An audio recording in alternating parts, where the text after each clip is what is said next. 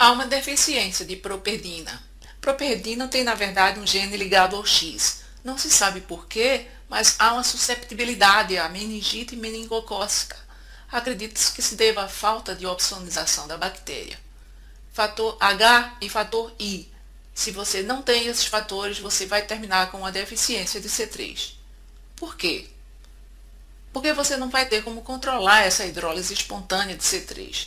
Porque se você não tem algum desses fatores, particularmente o fator I, você vai ter deficiência de C3.